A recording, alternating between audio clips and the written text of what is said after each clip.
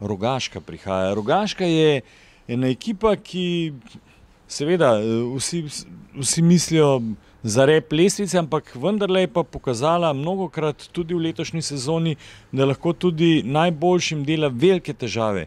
Eh, kako ti vidiš Rogaško?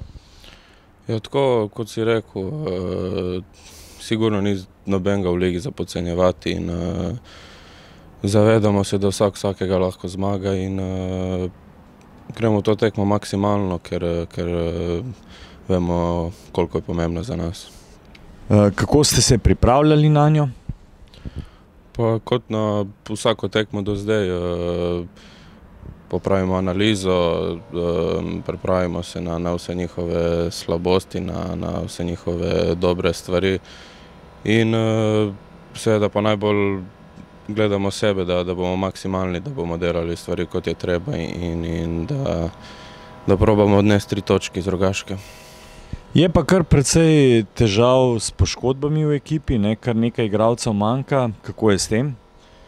Ja, je res, da smo imeli precej smole s tem in uh, mislim, da zdaj se počasi vsi vračajo.